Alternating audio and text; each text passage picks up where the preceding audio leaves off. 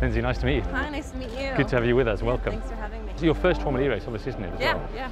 I think it's a great concept. I mean, I think that's where the world is going anyways. Jag has a great team. They have some great drivers, um, very nice drivers, and just kind of learning about the setup and how the cars operate, you know, what they do in the pit. So, uh, yeah, I'm just happy to be here and experience uh, Formula E for the first time.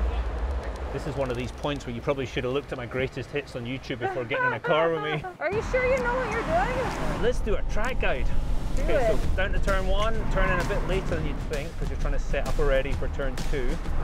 Change the surface, different grip level. I guess that's equivalent of ice. Yep, Did you miss it? I do. That's why I need a fast car.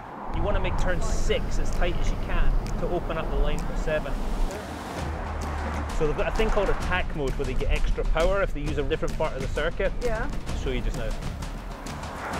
Back to the throttle. You should get them to let you drive the Formula E car though. That's what I want to do, but they said I need a license. I'll, I'll put a good word in. 14 is really cool. Heck yeah. I hope you enjoyed it. I did, thank you. Next time you got to drive. Next time I'm driving. Yeah. Yeah.